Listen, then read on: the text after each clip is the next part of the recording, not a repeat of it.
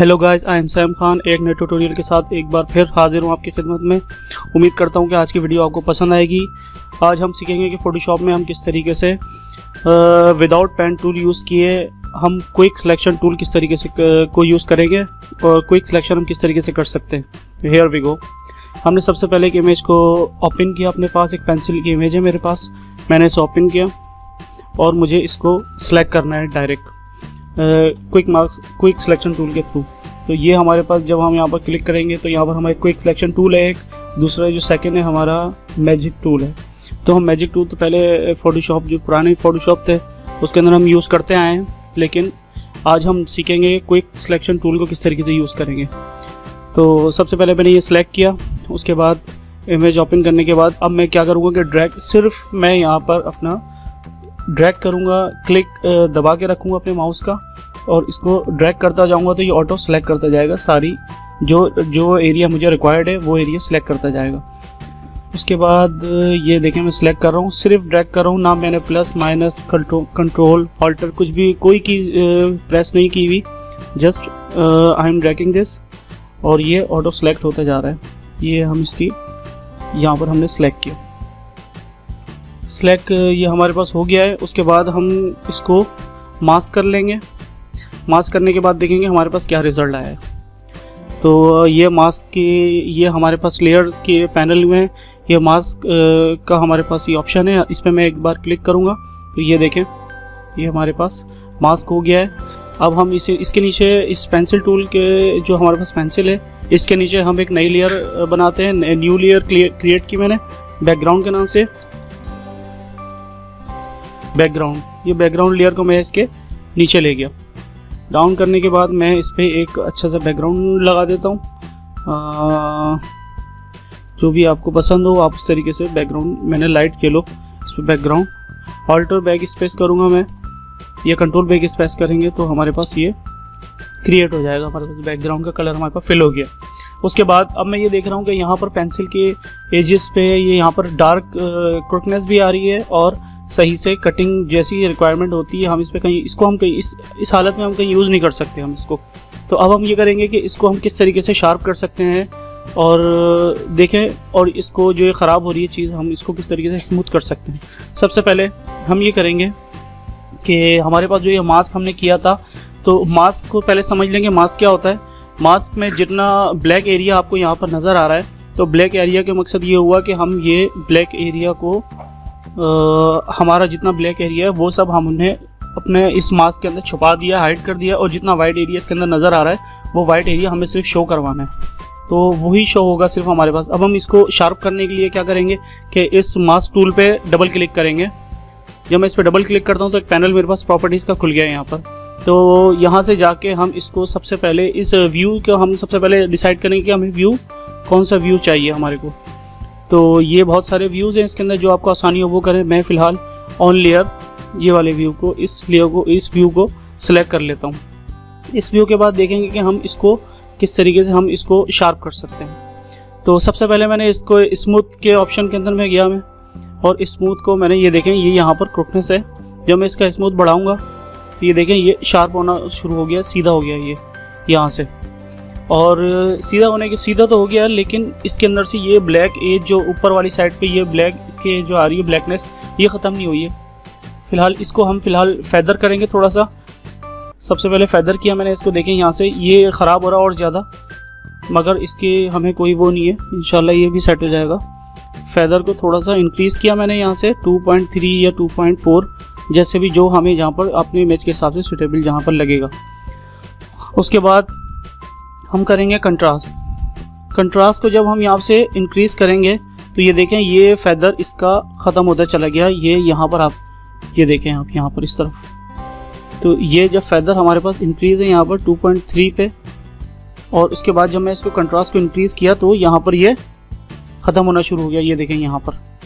तो वो फैदर ख़त्म हो गया और शार्पनेस बढ़ती गई हमारे पास। इस पहले सबसे पहले हमने इसको जब स्मूथ कर लिया स्मूथ के बाद हम इसको फैदर करेंगे फैदर के बाद कंट्रास्ट इसका इंक्रीज़ कर लेंगे। जब कंट्रास्ट इंक्रीज़ हुआ तो यहाँ पर हमारे को इमेज आ, हमारी जो इमेज है इसको हमें स्मूथ होती हुई नज़र आई कि हाँ इसकी सिलेक्शन अब क्लियर होती जा रही है।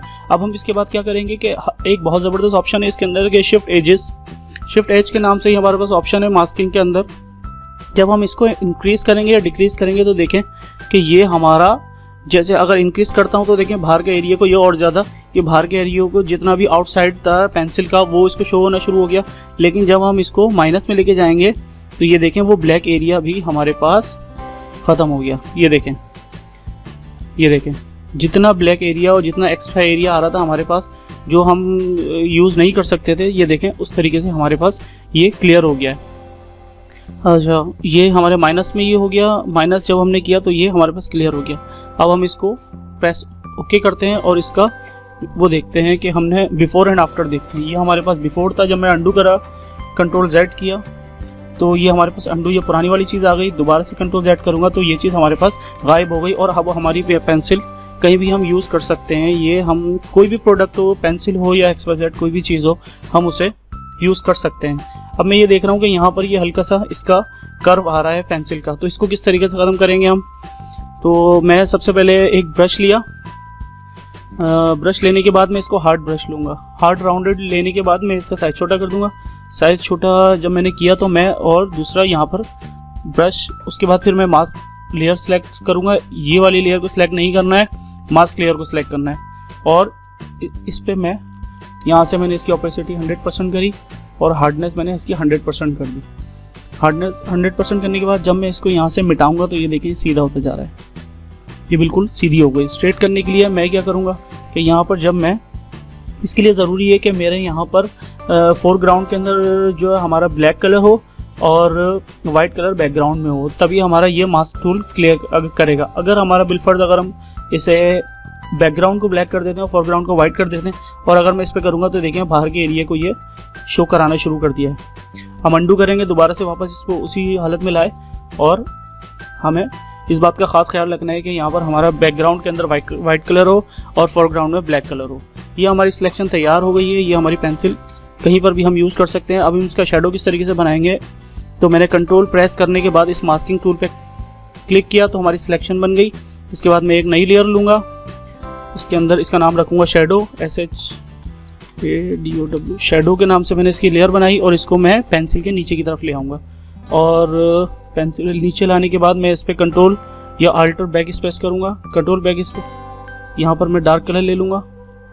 ग्रे कलर मैंने सेलेक्ट किया ताकि मैं इस पर ग्रे कलर का शेडो बना सकूँ। ये देखें आप यहाँ पर यहाँ आपको ग्रे शेडो नज़र आएगा। कंट्रोल टी का किया मैंने इसको और इसका शेडो ज़मीन पे गिरा दिया। ये देखें। जब मैं इस पे ज़मीन पे मैंने इसके शेडो को गिरा दिया तो hit the okay button and इसके बाद हम इसको मल्टीप्लाई कर देंगे सबसे पहले, ताकि इसमें रियल शेडो फील हो, और इसका सबसे पहले हमने इसकी, उसके बाद हम इसकी ऑपेसिटी कम करेंगे जितनी हमें रिक्वायरमेंट है। इसका रियल अभी भी रियल शेडो नहीं बन रहा है, इसलिए हम इसको थोड़ा सा ब्लर करेंगे। ब्लर करने के लिए हमें क्या करना है कि फ़िल्टर में जाएँगे। फ़िल्टर में जाने के बाद ब्लर ब्लर में जाने के बाद गौशन ब्लर गौशन ब्लर के अंदर ये ज़्यादा हो गया, हमें इसको कम करना है थोड़ा सा थोड़ा सा बढ़ा देंगे इंक्रीज कर देंगे, ताकि बस हल्का सा शेडो नज़र आए। ये हमने 1.8 किया। लुक लाइक बेटर मगर अभी भी वो रियल फील नहीं आ रही है इसके अंदर। रियल फील मजीद लाने के लिए मैं इस शेडो की लेयर पे ही क्लिक करा मैंने। फ़िल्टर में गया फ़िल्टर में जाने के बाद ब्लर गैलरी उसके बाद रिज ब्लर के अंदर मैं गया। और यहाँ पर मैं इस सेंटर पॉइंट को इसकी एज पे लाके रख दूँगा। जब मैंने रख दिया, उसके बाद देखें ये इसका आउटर एरिया किस तरीके से ब्लर हो रहा है। और ये क्योंकि जितनी ची रियल फील करने के लिए मुझे इसको और करीब करना है, ताकि हमारा रियल फील हो बिल्कुल। हमारी जो चीज़ हमारी नियर है, वो चीज़ थोड़ी सी हार्ड होगी, जितनी दूर जाती जाएगी, वो चीज़ हमारी सॉफ्ट इसका शेडो बनेगा। इसकी हमारे, मेरे ख्याल में ओके है। Look like better and hit the okay button ये हमारे पास काफ़ी बेहतर हो गया। लेकिन हमारे यहाँ पर, क्योंकि यहाँ पर अभी भी हार्ड शेडो आ रहा है, इसलिए मैं इसको भी मास्क बटन पे क्लिक किया मैंने इस पर और अगेन एक बार फिर मैंने ब्रश लिया। ब्रश का मैंने साइज़ थोड़ा सा बड़ा करूँगा, लेकिन इस बार मैं सॉफ्ट राउंडेड ब्रश लूँगा। और थोड़ा सा और साइज़ बड़ा किया मैंने इसको, ताकि मुझे इसको यहाँ से हार्ड शेडो इसका ख़त्म कर सकूँ मैं इसका। थोड़ा सा और बड़ा किया मैंने इसका। राइट थोड़ा सा यस ये सही है। अब मैं देखूँगा कि देखें, अब मैं इसकी ऑपोसिटी थोड़ी सी कम कर देता हूँ 50 परसेंट कर देता हूँ। और उसके बाद मैं यहाँ से इसको शेडो को मिटाना शुरू करूँगा, ताकि हल्का सा शेडो आ जाए, बस। This is look better right तो ये हमारी पेंसिल तैयार है और इसका शेडो भी तैयार है। उम्मीद करता हूँ कि आज की वीडियो आपको पसंद आएगी। अभी तक आपने अगर मेरा चैनल सब्सक्राइब नहीं किया है तो मेरे चैनल को सब्सक्राइब कर लें। और अगर आपको इसकी पीएचडी चाहिए तो काइंडली कमेंट बॉक्स में अपनी अपनी पर्सनल आईडी सेंड करें, मैं आपको बताऊँगा कि मैं आपको इसकी गूगल ड्राइव की लिंक सेंड कर दूँगा, इसकी पीएचडी की।